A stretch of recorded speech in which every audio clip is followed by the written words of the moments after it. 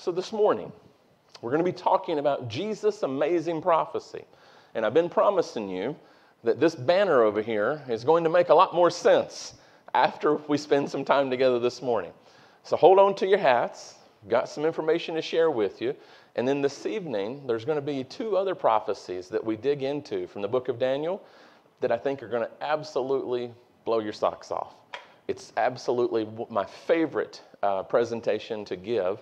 Um, I love doing all of the presentations, but this evening is one of my favorites. But before we dive in, I do not want to try to share from God's word without asking for God's blessing. Will you please pray with me? Loving Father, I thank you that we can be gathered here. And as my brother Dave said, it is a beautiful day. It's not beautiful maybe by weather standards, but it's beautiful because there can always be sunshine in my heart in my relationship with Jesus. And so today, Father, we come in the name of Jesus, asking for your guidance, for your wisdom, for your understanding. Lord, I recognize I have nothing of any value to share unless you speak through me. So, Father, please give me the words to speak, give me clarity of mind, anoint my lips with a coal from the altar, cleanse me of all unrighteousness, please, Father. Cover me with the blood of Christ. And Lord, I also pray for my brothers and sisters. It's easy for our minds to wander, to get distracted. Something happens around us and we get off track. Lord, take away those distractions. Help us to be truly and intently focused on learning from you this morning. So this is my prayer in Jesus' name. Amen. So I want to take you back in history and tell you a story that many of you probably already know, probably have heard before. But on April 12th of 1912, over 112 years ago now, the world's largest ship at the time, yeah, you know what I'm talking about, right? What's the name of this ship? The Titanic. And what was the claim to fame for the Titanic? The unsinkable ship. I mean, John, some people were even so arrogant. The constructors, the architects, the engineers, one of them is even quoted as saying, God Himself could not sink this ship. Ouch is right. But it goes on its maiden voyage from Southampton, England, steaming across the Atlantic for New York City. And it was traveling west uh, at about 26 miles per hour with an approximate uh, passenger load, crew and passengers, of 2,200 people. Some of the world's wealthiest people wanted to get in on the action.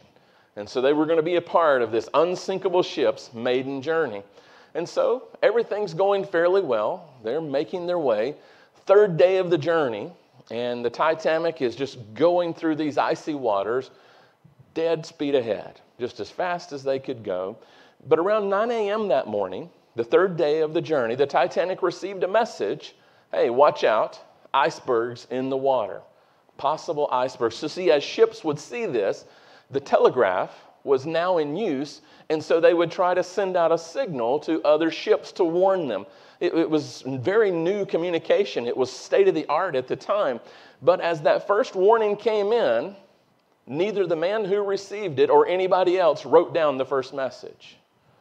142, the same day, third day of the Titanic's maiden voyage, another warning came in, a communication from a neighboring ship called the Baltic.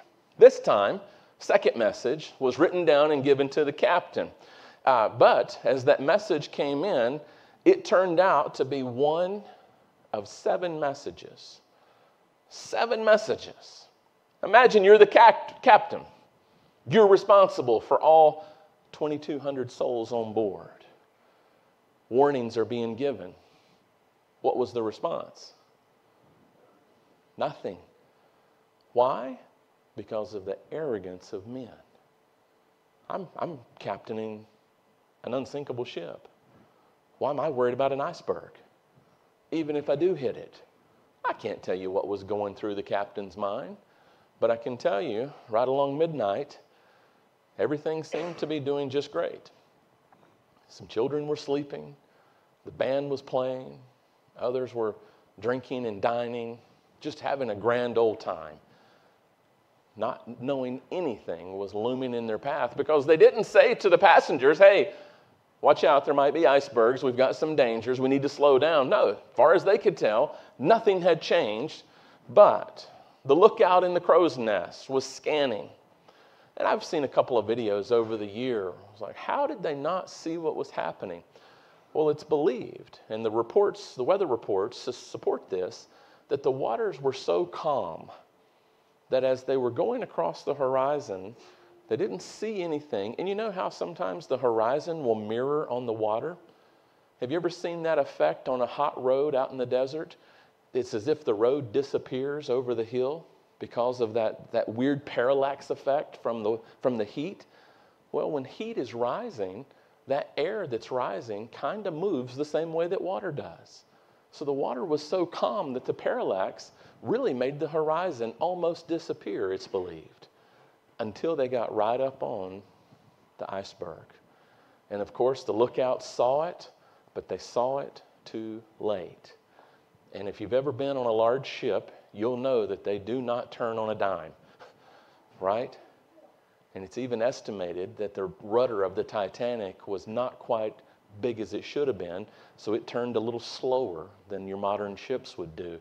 But the Titanic struck that iceberg right at midnight, ripping a gash, about a 300 foot gash, down the side of the Titanic. Now, when they built it, the reason they thought that it was unsinkable is because they built the hull of the ship in these compartments and they had bulkheads, which is a fancy name on a ship for a what? It's a wall, right? So they had these bulkheads, but the bulkheads did not go all the way up. They only went so far, and the pumps could not keep up with the surge of water that was coming in. Had the bulkheads been sealed all the way to the top of the decks below, then it could have been compartmentalized and maybe limped into shore. But that's not what happened. It began to take on water. And eventually, the captain decided that it's time to abandon ship. Captain Smith finally gave the command to lower the lifeboats. 2,200 people, but it was found out as they put the lifeboats in the water, the lifeboats only had the capacity to hold about 1,100 people. Half. And even when the announcement was made, abandon ship, abandon ship, some people were still under the delusion this ship can't sink. What is wrong with these people? Why are you afraid? But of course, the nose of the ship kept going further and further under the water. And of course, of course, because it wasn't well organized and many people waited to the last minute, it turns out that out of the 2,200 people, only 711 approximately survived the sinking of the Titanic. Tragedy. And this is a little screenshot. This is actual picture of a newspaper just days after the event. And they thought J.J. Astor, one of the most richest men in the world at the time, he was the Jeff Bezos of the time, I guess, right? Richest man in the world. He ended up surviving. That the, if you read a little bit below where it says 15 to 1800 dead, you'll see that Astor actually made it. But here's the point there was no reason for the Titanic to have sunk in the first place. How many warnings did they receive? Seven different warnings. Friends, can you look back on a time in your life where you suffered tragedy because you didn't have the good sense to listen to what somebody else was trying to tell you? I can. Are there times that you've brought trouble in your own life because you didn't listen to good counsel? Absolutely. It happens to all of us. And, and the sad part is, those warnings have been coming for mankind. And not just seven warnings. God has given warning after warning after warning, urging humanity make a decision to turn away from sin. Destruction is coming to this earth. And friends, that's why I've been calling you day after day, night after night. Choose to walk with Jesus. Choose to walk differently. Yeah, the world's going to think you're crazy. What? Why do you want to live for Jesus? Don't you know there's so much living to be done? So much fun to be had? Well, friends, I grew up on the other side of being with Jesus. I grew up without Jesus. I grew up on that fun side, so to speak. And I can tell you, the so called fun side is riddled with alcoholism, drug abuse, sexual immorality, broken families, crime. tell you a little story. I grew up here in North Carolina, but I was born in Manassas, Virginia. Say, well, why? If your family's all from North Carolina, why were you born in Virginia? Because my grandpa was a moonshiner. Beautiful heritage, isn't it? And he had already been busted. He and my great uncle, they got busted one time and actually spent some time in prison for illegal production of alcohol spirits. And the feds were closing in on them again. Actually, this time it was the state officials. And so they fled to Virginia to escape justice. So I was born in Virginia because my family were criminals. How's that for a heritage? Right? How much brokenness does a world need to see to find out that brokenness is not what God wants for us? Brokenness does not bring happiness. And God, over and over and over, has tried to tell us time is running out. And here's what's interesting there are others that are seeing it. How many of you have heard of the doomsday clock? You heard of the doomsday clock? The doomsday clock is this estimation by economists and physicists and other scientists who they look at what's happening in the world and they say, listen, we cannot continue on the path that we're on. This is going to lead to a destruction. Now, they don't see it in a spiritual context, but they, they see something's happening. And, and many have questioned how close are we to the end? Anybody ever heard of an astrophysicist by the name of Dr. Stephen Hawking? This, unfortunately, is what Dr. Hawking looked like towards the end of his life. Uh, of course, his body was crippled by a terrible disease. But notice what Dr. Hawking said. Now, he was an avowed atheist, and so obviously I would not agree with everything he says, but notice what he shares. He says it is important for the human race to spread out into space for the survival of the species. Why? Well, life on Earth is at the ever increasing risk of being wiped out by natural disaster, nuclear war, a genetically engineered virus, can you say COVID, or other dangers we have not yet thought of. Interesting. Do we see an increase in natural disasters? Did Jesus teach us in Matthew 24 and Luke 21? Did he say as we get closer to the end of time that there will be an increase in these natural disasters? So, how is it that an astrophysicist that doesn't even believe in God is seeing it, yet Christians don't take it seriously? Wow. Notice what Hawking goes on to say We won't find anywhere as nice as Earth unless we go to another star system. Well, listen, I can't agree with everything Stephen Hawking ever said, but I think he's on to something here. What do you say? And not only is, has Hawking and other scientists and politicians scrambling, uh, right, to find answers, trying to find what, what solution do we have? How do we prepare for this? How do we escape it? How do we, how do we get ready? What can we do to deal with this problem? And yet nothing seems to be working. Well, I'm happy to give you some good news this morning. Amen? I like to get good news. Bible prophecy gives us insight into where our world is headed in the future. We'll get to see how God addresses this stuff. Isaiah 46, 9 through 10. You'll find this on your text guides. Hope that you're following along, that you're filling these out so you can look at them to study more for later. But God says through the prophet Isaiah, Remember the former things of old, for I am who? I'm God, and how many others are there? There are no other, there is no other, declaring the end from the beginning and from ancient times things that are not yet done. This is God's promise that if you want to know what's going to happen in the future, talk to me.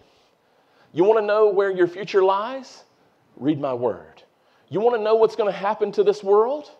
Dig into the Bible. Study the prophecies that I've given you. Surrender to my teaching. He says, Behold, in Isaiah 42 9, the former things have come to pass, and new things I declare. Before they spring forth, I tell you of them. I love that the Lord has said, I'm going to tell you what's going to happen so that you don't have to be worried, that you don't have to be afraid that you can basically have an intergalactic safety briefing where God tells us what's going to unfold.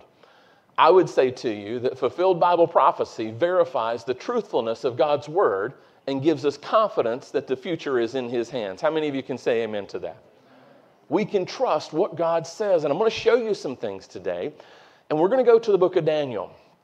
And we're going to see this amazing prophecy that unfolds in the second chapter of Daniel. In Daniel chapter 1, it kind of goes over that journey of their captivity. You know, Daniel, and he had three friends. Do you remember their names? I don't want to hear their pagan names. I want to hear their Christian names. Do you remember their Christians' names? Hananiah, Mishael, come on, you can get one out of three, Azariah right? Yeah, they became Shadrach, Meshach, and Abednego, but we call Daniel Daniel. We don't call him Belteshazzar, right? I'm just messing with you. But in Daniel chapter 1, we see that journey of he and his friends who chose to remain faithful. Daniel chapter 2, we now see that he has been established. At the end of chapter 1, he and his friends were found to be how many times wiser than the other trainees? 10 times wiser because they honored God. So now Daniel and his three friends are counted among the wise men of the courts of Babylon.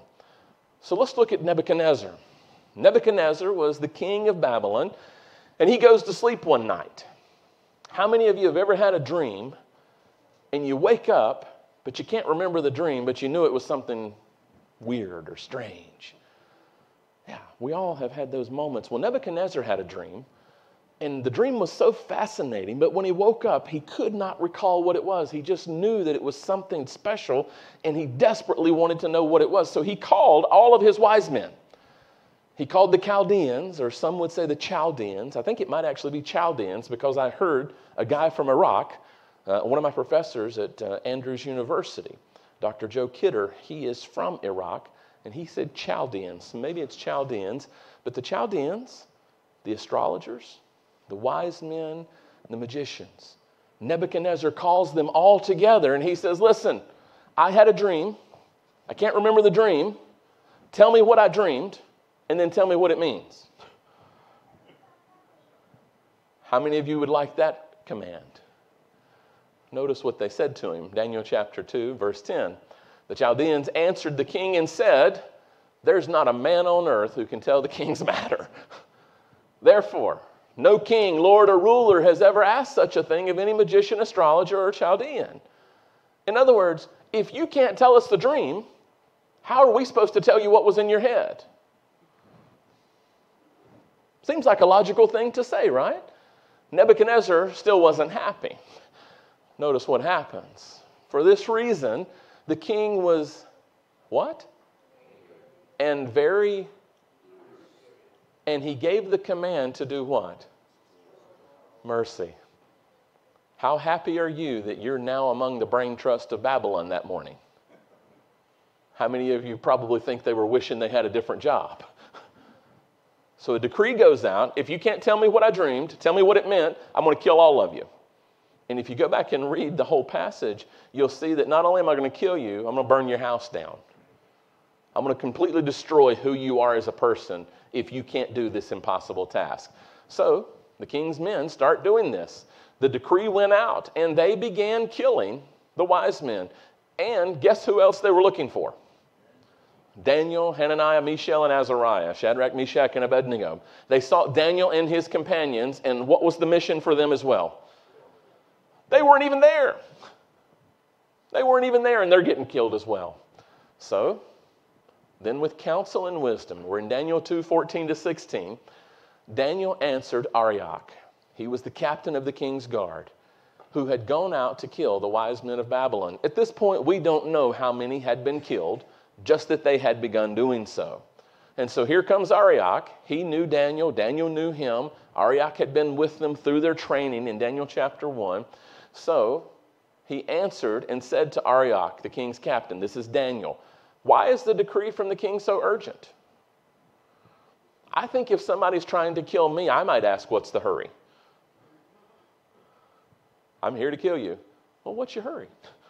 Let's talk about this. Seems reasonable, doesn't it? Stall tactic? Maybe.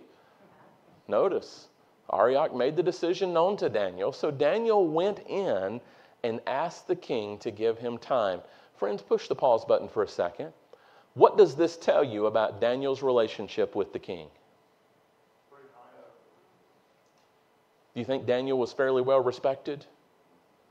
I mean, you're under a death decree, but instead of being dead, Excuse me. What's the rush?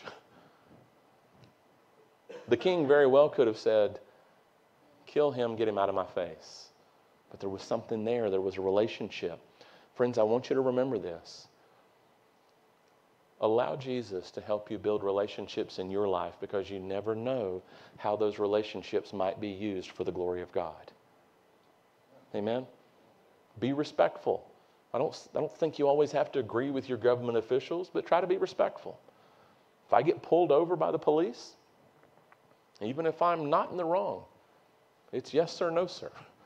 I'm going to be respectful. Try to win that favor, right? That soft answer turns away wrath. So Daniel went in and asked the king to give him time that he might tell the king the interpretation. It continues in Daniel 2:17.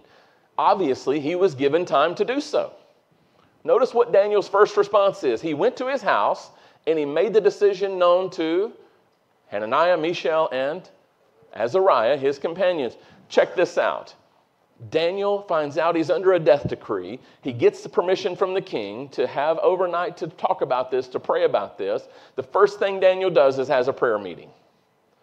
Another major lesson that I want you to take away. When you find yourself in trial in this life, the first place we should turn is to God.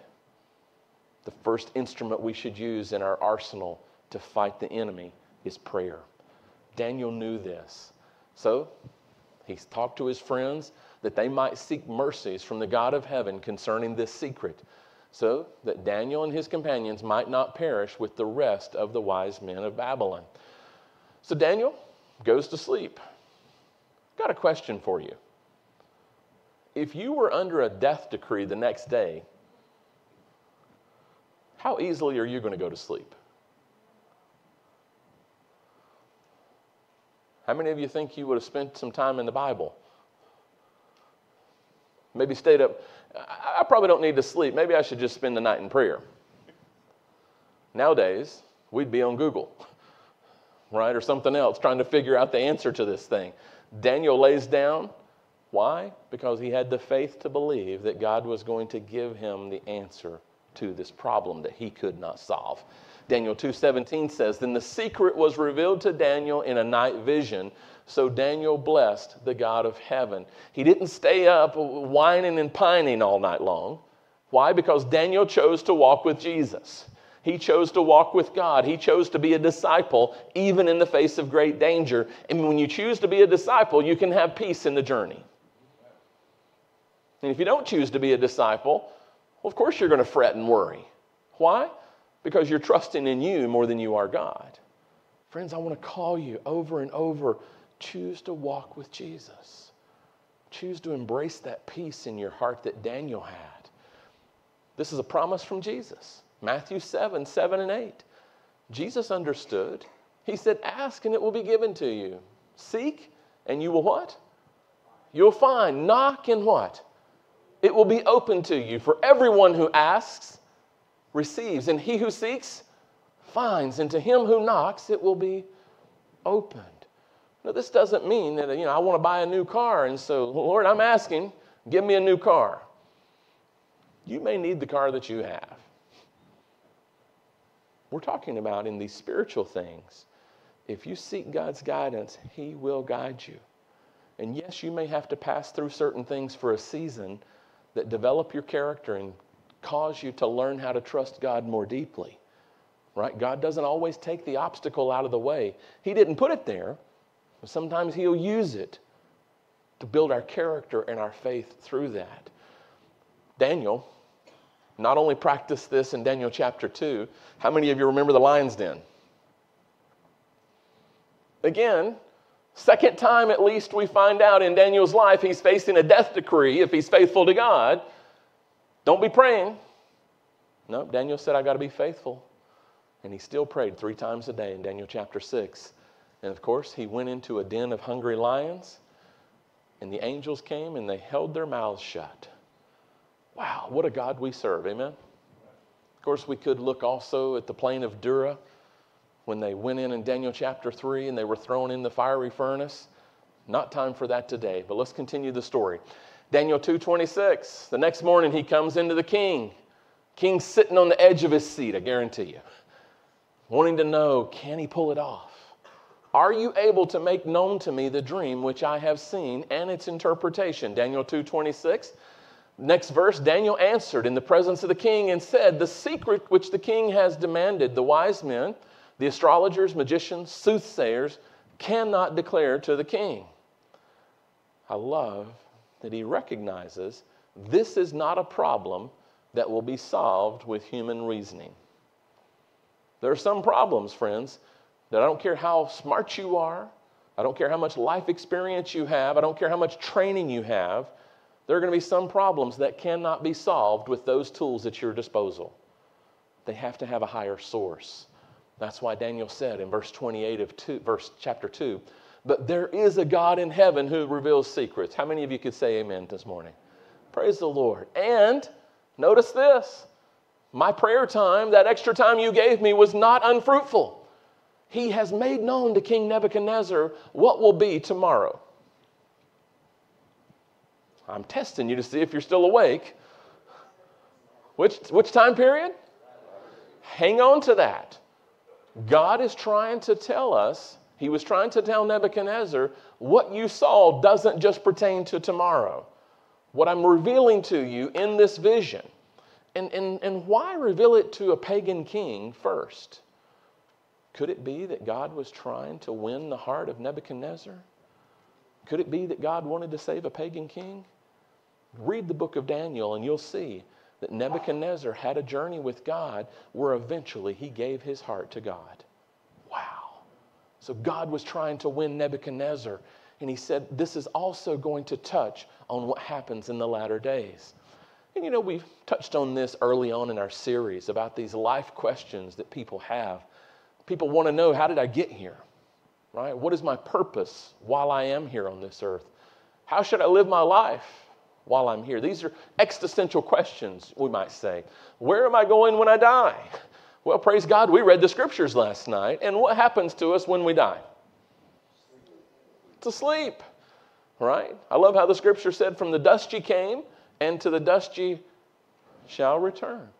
Genesis chapter 2, verse 7 says that God formed man out of the dust of the earth, breathed into his nostrils the breath of life, and man became a living being. And when we die, the reverse of that happens. Our breath goes back to God, and our body's just resting, waiting on the shout. Oh, mercy. How many of you are waiting to hear the shout? Waiting on that last trumpet. How many of you want to hear that last trumpet? Oh, mercy. So we know that the answers to these are not found in the musings of men. These are not found in the ideas of mankind. These are answers that we can only find trusting our God. Nebuchadnezzar, he says to him in Daniel 2:31, "You, O king, were watching." And imagine Nebuchadnezzar. All of a sudden, Daniel starts describing the dream in great detail. How do you think Nebuchadnezzar was? Do you think he was nodding off or do you think he was glued in? I'm going to tell you what, man, he would have been like, this is really happening. This guy's really going to tell me. Oh, I want to hear it. Tell me, tell me. Oh. And I imagine as Daniel began to tell him each piece, flashes of that dream started coming back to his mind. You were watching in this great image whose splendor was excellent, stood before you, and its form was awesome. He goes on to say in verses 32 and 33 this image's head was of fine gold, its chest and arms of silver, its belly and thighs of bronze, its legs of iron, its feet partly of iron and partly of clay. Question for you. Based on this image, based on the description from the Bible, where is the most precious metal? So there's something being indicated. Hold on to this piece. There's something being indicated that whatever this image represents, the best is at the top and the more inferior is at the bottom. Can, can you relate to that with me? Okay, let's see what it actually means. Daniel tells him in verse 34 You watched while a stone was cut out without hands, which struck the image where? On its feet. And how are the feet made up? What are they mixed with? Iron and clay. Which is stronger, iron or clay? Iron, of course, right? So you know part of the feet are weak, part of it is strong, and broke them into pieces.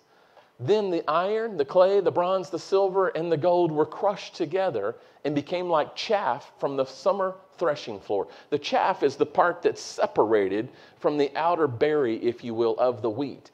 And that chaff was very lightweight. And so they would, they would thrash it, and then they would have others that are fanning, winnowing, and that wind would blow away the chaff, and all that was left was the usable wheat berries. Okay? That's what he's re- describing. The wind carried them away that no trace of them was found. All of those metals ground up, blown away, and the stone that struck the image became what, friends? Great mountain, and it filled how much of the earth? How do you think Nebuchadnezzar is feeling at this moment? Wow, what? Yes, that's exactly what I saw. Yes, yes, tell me more. And imagine the others that hadn't quite been killed off yet. This guy's really doing it. His God really told him this. Well, this is the dream, Daniel says to him in verse 36. Now we will tell the interpretation of it before the king. Half of the order has been fulfilled, yes or no? What was the first part? Tell me my dream, and then tell me the interpretation. So part one's been accomplished. God has come through strongly for Daniel. Amen? Notice now, he says to him, You saw this image. And I imagine him walking him through this, that he just dumbfounded, not knowing what to say. Maybe he's wondering in his mind, just like maybe some of you are, what is this head of gold? What is this chest of silver? What, what does it mean? Then a belly and thighs of, of bronze. Of course, Nebuchadnezzar would have known these were descending inferiority. Iron legs, and then iron feet and clay? What does it all mean? But he's remembering in his mind and he begins to recall and then seeing that stone. And when you hear in the Bible that a stone is cut out without hands or something is made without hands, it's a reference to God intervening in a mighty way. And it busted up all of those images, those materials, and grew into a great mountain that filled the entire earth. I imagine Nebuchadnezzar was completely blown away as he thought about and wondering, eager to know what was happening. Well, he continues, verse 37 You, O king, are a king of kings. Do you think Nebuchadnezzar agreed with him? Of course he did. Nebuchadnezzar, you're the man. That's essentially what he's saying to him. For the God of heaven, oh, wait a minute, where did his power come from? Who does Daniel credit Nebuchadnezzar having his power and kingdom? It came to you from God. Don't think you came up with it on your own. For the God of heaven has given you a kingdom, power, strength, and glory. And wherever the children of men dwell, or the beasts of the field and the birds of the heaven, he has given them into your hand and has made you ruler over all of them. You are this head of gold. Wow. And I'm going to tell you, it went to Nebuchadnezzar's head. I remember growing up as a kid, I, I love growing up in the South. So we just have all these sayings that are just so amazing. And I remember as a kid, somebody would be telling you that you did something well, but they didn't want you to get arrogant. They don't let it go to your head, right? And I remember one time I, I, brought home my report card and I was showing my grandparents, and I was, I was so happy. I had gotten some A's and good report on my behavior. And I remember my grandmother was just going on and on about it. My pawpaw, just from the quietness of his chair across the room, he said, Listen, don't keep building that boy up. You'll have to butter his ears to get him through a door.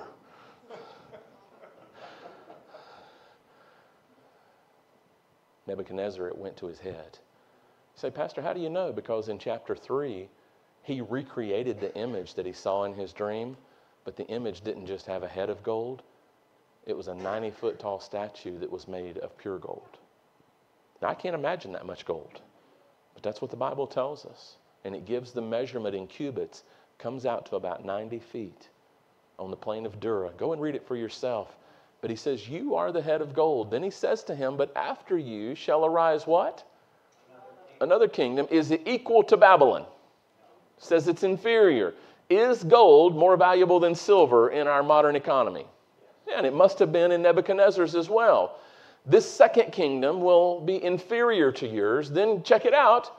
another, a third kingdom of bronze. Which is more expensive, bronze, brass, or silver? Right? So we're seeing a descending value that's happening here. Gold, the most precious, silver, brass, or bronze. And then we see these will rule over the earth. Now, let me pause for a second. I've had people ask me, well, what do you mean rule over the entire earth? They ruled over a region in the Bible, when it's talking about ruling over the earth, it's talking about the then known world. Okay? And it also is talking about those kingdoms which had an impact on the people of God. So, so don't get hung up on the geography going, well, God didn't care about indigenous people that were. No, that's not what it means. It's talking about the then known world. So let's continue. This fourth kingdom shall be strong as iron, inasmuch as iron breaks in pieces and shatters everything, like iron that crushes in that kingdom. So, have you picked up on the fact that each of these metals represents a kingdom? How many of you are tracking with me? Who's the first kingdom? If Nebuchadnezzar's the head of gold and he's the king of Babylon, the first kingdom has to be Babylon. Okay, so let's continue to see what we find out. Whereas you saw the feet, Daniel says to Nebuchadnezzar, the feet and toes, partly of potter's clay and partly of iron. The kingdom, this last kingdom, shall be divided. Yet the strength of the iron shall be in it, just as you saw the iron mixed with ceramic, and I believe the King James says miry, right? It's just a sticky kind of potter's clay, shall be mixed with ceramic clay. Now, I want you to be reminded of something. So I'm going to take you to a kind of a parallel verse in 2 Peter 1 20 and 21. Friends, you and I do not have a license to just assign what we think prophecy should be. Is that fair? You and I can't just say, well, I think it means this. Well, no, you're wrong. I think it means this. We need to let the Bible interpret itself, and then we need to compare what the Bible has given us to the historical record and find out what happened. Because what God did did not happen over here in a vacuum. What God did happened in the stream of time, right with the history of men. Notice what Peter said Know this first, or we should be knowing this first, that no prophecy of Scripture is of any what? Friends, you and I do not have a license to just come up with whatever we want. For prophecy never came by the will of man, but holy men of God spoke as they were moved by the Holy Spirit. So, friends, we want to stay faithful to what the Bible is teaching us.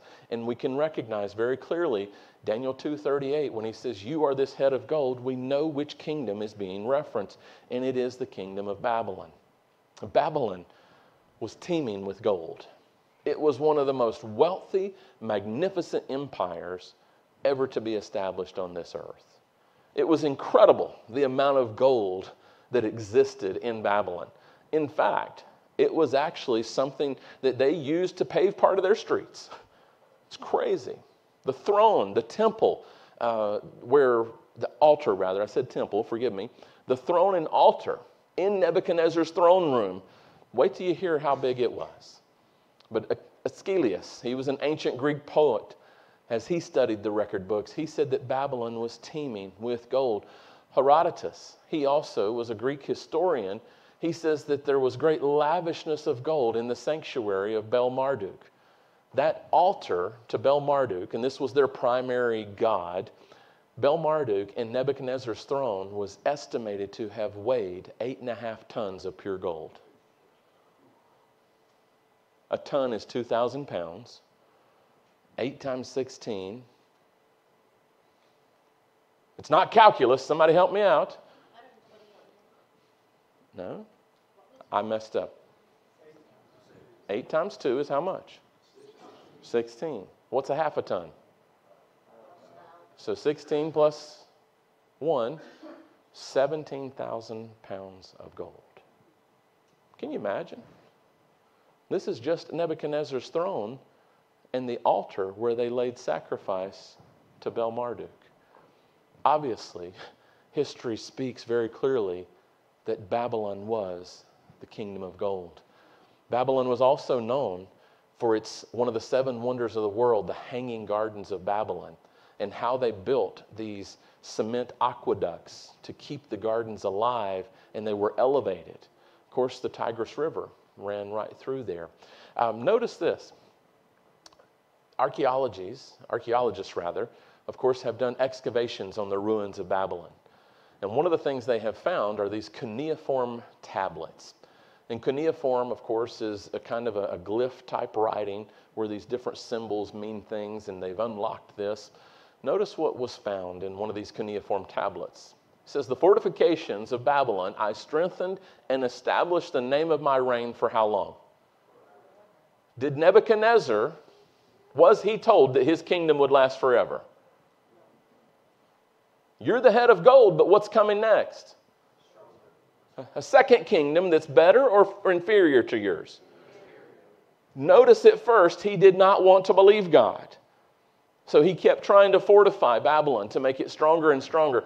In fact, it is, it is told through historians that Babylon was so well fortified and they had such food stores that an army would have to come to Babylon and lay siege to them for 20 years to starve them out. Can you imagine? So these guys thought that they were impenetrable. They thought they were untouchable. Babylon thought it was the Titanic of the ancient world. Notice what else he says in these cuneiform tablets. The whole earth is prostrate at Babylon's feet. You're all bowing beneath me. Babylon, the city which is the delight of my eyes, which I have glorified, may it last forever. But History tells us very clearly that Babylon did not last forever. He came into power around 605 BC, but Babylon was overthrown in the year 539 BC. So Daniel reminds him, right? You're the head of gold, but another kingdom is coming. And he says it will be inferior to yours. So, what kingdom came along afterwards? Well, the chest and arms of silver very clearly represent the kingdom that overthrew Babylon. In 539, they were overthrown by the Medo Persians. Now, you may recall from our study last week of Daniel chapter 7, do you remember the bear? I told you that there was a bear that represented Medo Persia. Do you remember that the bear was raised up on one side? Right? And we talked about how that was a strength. Well, in this dual empire, the Persians were the stronger of the two empires. So Medo Persia is representing this chest and arms of silver. But how did it happen? This is an amazing story. October 13th, 539 BC, Babylon is quiet on the outside, but on the inside, there's all kind of partying and carrying on happening because they didn't think that they could be overthrown. Well fortified, high walls, thick walls. You can't, you can't starve us out. But there they are. You can read about this in Daniel chapter 5 that they're there and the king Belteshazzar, he was drinking out of the temple vessels, the cups that were supposed to take the blood from sacrifice for God and be brought in and poured at the altar of God. They were using them to drink alcohol and all their partying. Well, there was a general, a general by the name of Cyrus. Cyrus comes, nobody's guarding the walls, even the guards are drunk. And Cyrus has his men dig a, a channel, and he digs a channel, and I told you the Tigris earlier, I misspoke. It's the Euphrates, forgive me. But the Euphrates ran right through the city of Babylon. They dammed up the river, dug a channel, and diverted the river out into the desert. And that gate that was in the city wall, they were able to walk in the city right under the river gate. They overthrew Babylon that night, and not a single shot, so to speak, was fired. Everybody was partying. The guards were all inebriated as well. And in 539, Babylon met their demise, just as God predicted that they would. Here's what's incredible God predicted even the general, the general who would overthrow this city, he called him by name, and it was 180 years before he was born. Notice what God said in Isaiah 45, verse 1. Thus says the Lord to his anointed, to whom? To Cyrus, whose right hand I have held, to subdue nations before him and loose the armor of kings, to open before him the double doors, so that the gates will not be shut. What are the double doors? Again, if you go back and look at the history, the ruins of Babylon, the Ishtar gates where I showed you those golden lions the other night, last week, the Ishtar gates were double doors. God predicted 180 years in advance. Does God know what's happening? Do you think we can trust the Word of God? Wow, what an amazing story. And it unfolded.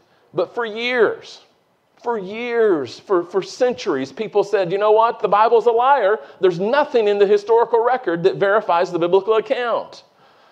I'm going to tell you, I thank God for biblical archaeologists because as there were ex- excavations happening, this cylinder was found. And this is another cuneiform cylinder. And this, was called, this is called the Cyrus cylinder, as you can see. And this is actually on display in the British Museum. And as archaeologists have uncoded, as they have translated the Cyrus cylinder, they find that the biblical account of Cyrus and the Medo Persian army overthrowing Babylon is recorded on the Cyrus cylinder exactly as the Bible portrayed. Wow. Finally, the critics have been silenced.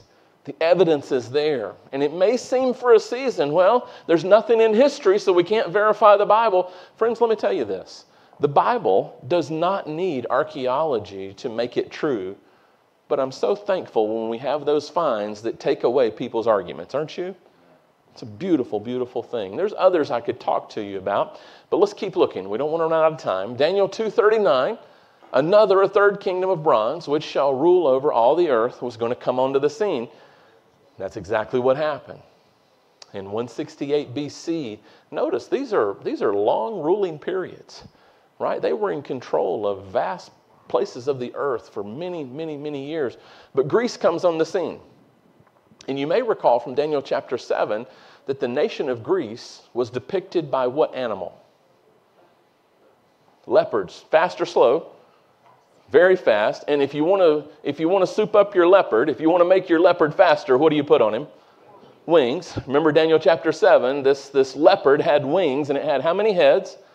four heads, and you remember we talked about those are the four generals that came to power after Alexander died. But Alexander the Great did come into power very, very quickly. In the short period of seven years, Greece became the ruling world empire. Alexander the Great, of course, is the one who led the charge in that rapid ascent to power by Greece. Unfortunately, he died way too early in his mid 30s, and historians speculate it was due to um, licentious living, we might say. He, he's believed to have died of alcohol poisoning. How sad. You've got everything the world has to offer, and you throw your life away with alcohol. Aren't you glad nobody does that today? Well, wait a minute. Nothing new under the sun, is there? And, friends, that's the point all these principles that we see from the lessons of history, they're not just fun historical facts. That's why I'm telling you over and over this is about walking with Jesus. This is about choosing to be a disciple of Christ because the same thing that took down Alexander could be the same thing that takes down your family. And how many families have been wrecked and torn apart because of drugs and alcohol? Still happening today just like it has happened over the courses of history. But we know that God's word is true. So, what about this fourth kingdom? This iron kingdom that smashes and shatters and breaks everything into pieces? Well, Rome is the empire that is known as the Iron Monarchy of Rome. Okay? And, and as I had said to you, speaking of the crucifixion last week, we t- talked to you about how the Romans would take tactics of other nations and they would improve upon them. So when the Romans came to face the Grecian army, they not only had weapons that were now iron weapons, the, the Greeks, they had an advantage because they had a new armor that was made out of bronze, but bronze doesn't hold up very well compared, compared to iron. And so when they faced the iron armies, if you will, of Rome, they were no match for them. And of course, the Romans became the ruling world power. But the influence of Greek culture was still pervasive. Uh, how, how many of you have ever heard of Hellenistic culture? Okay, Hellenistic culture refers to Helena, the mother of Alexander the Great, and her influence of art and language. And so, even during the time of Jesus, the predominant language was not Hebrew. By this time, Hebrew was the temple text, it was the temple language. Aramaic was spoken in, in many corners of Judaism. But Koine Greek, K O I N E, Koine or common Greek, was the common language that was spoken during the time of Jesus. But we know what, to, what soldiers nailed Jesus to the cross? Roman soldiers. What soldiers put Jesus in a tomb? Roman soldiers. What governor relented to the, the shouting crowd and condemned Jesus to die? Roman governor, right? Pontius Pilate. We know that these leaders are the ones who were the world power during the time of Jesus. So notice how we're marching down through the time, right? We're seeing history unfold. We see that it's verified. And God wants us to have these historical markers. I gave you this last week. If you want to make a little note and write it down, I'll tell it to you again. But in Luke chapter 3, verse 1, it says, In the 15th year of the reign of Tiberius Caesar, that John was at the Jordan River baptizing, and you go down to about verse 21. I'm shooting from the lip, but I think it's verse 21. It says that Jesus also came and was baptized. So we know, bless you, we know when Jesus was baptized. Because we can go and look and see what was the 15th year of the reign of Tiberius Caesar, and it was 27 AD. Right? So we're marching down through the scope of time, and the Bible is tracking with it right on time. Daniel 2:41. What happens to this fourth kingdom? Each of the preceding kingdoms were overthrown by another major ruling power. That's not what happens with Rome. He says, whereas you saw the feet and toes, question, pop quiz, anatomy and physiology, how many toes do the average two feet have? I said, average two feet. Give me the total. Right? I don't want to hear about your weird genetic trail in your family. If you've got 14, I, don't want to know about it. I certainly don't want to see pictures. I'm messing with you. But the average foot has five toes, two feet. Very simple math gives us 10 toes. We have seen that these numbers are significant. Remember last week we looked in Daniel chapter 7 and there, there were horns who came up on the beast that had iron teeth. Do you remember how many horns came up on that, that fourth beast? It was 10 horns. Notice the parallel now. We had 10 horns in Daniel 7. In Daniel 2, we have 10 toes. And it's going to be a divided kingdom. And parts of the kingdom are going to be strong, and other parts of the kingdom are going to be weak. You remember when the little horn power came up? that it was different. And when it came up, it plucked some other horns out by the roots. Do you remember how many it was? Three horns. Right? So we see that these are kingdoms, and God is using different symbols to try to communicate what's happening. But notice, this is not a kingdom that will be united. The Bible says that it's a kingdom that shall be what? Divided. And so we see those divisions of the ten toes. And when you look to history, that's exactly what happened as corruption and all of these things began to creep into, especially the western part of the Roman Empire, we saw that these so called, history calls them barbaric tribes, these barbarian tribes began to rebel and they began to try to overthrow the Roman power. It was so strong that Constantine, I shared this with you last week, it bears repeating this week. Constantine fled to what is now modern day Turkey. He went to Istanbul, but he called it Constantinople.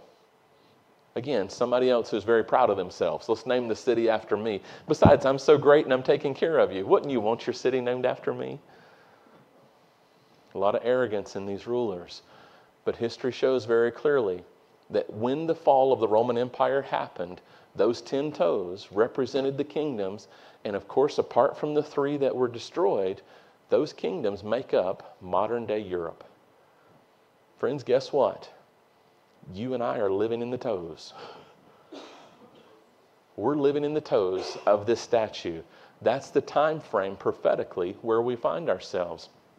But have there been attempts to unify Europe? Have, have people tried to conquer all of Europe? Yeah, what attempt to unify the nations does this prophecy mention? Well, it says that they will mingle with the seed of men, but they will not adhere one to another. It's a divided kingdom, and it will remain divided despite the efforts of Napoleon. Napoleon was on fire. French general who rose to power, became emperor, basically declared himself emperor, and he was wiping across Europe. He was overthrowing these other nations. And in the middle of summer, go and check this out for yourself. In the middle of summer, there was a freak snowstorm that happened that caused Napoleon to lose the battle. And Napoleon is actually quoted as saying, It's as if the hand of God himself were against me. Napoleon was not a God fearing man, but he recognized this is weird. Militarily, on paper, this was an easy win. I should have had this. Something bigger was working against me.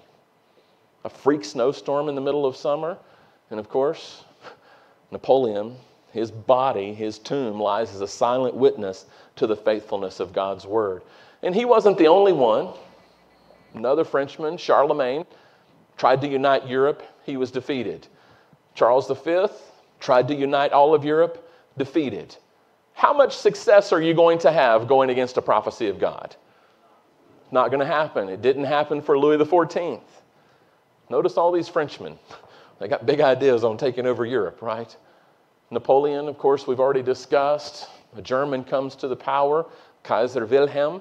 He was defeated. And of course, in our most recent history, of course, Adolf Hitler.